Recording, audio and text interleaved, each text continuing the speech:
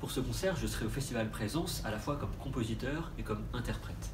En effet, je serai au clavier du grand orgue de l'Auditorium de Radio France, un instrument incroyable, des milieux de tuyaux, une palette extraordinaire, et je jouerai deux de mes œuvres, une œuvre pour orgue à quatre mains, mais aussi une nouvelle œuvre pour orgue et deux corps, une commande de Radio France. Donc pour ce concert, la musique de Messiaen, la musique de Gérard Griset pour deux corps, mais aussi donc deux de mes œuvres, The Fifth Hammer et La Voix plus loin, cette nouvelle œuvre commande de Radio France. Entrez au cœur du concert.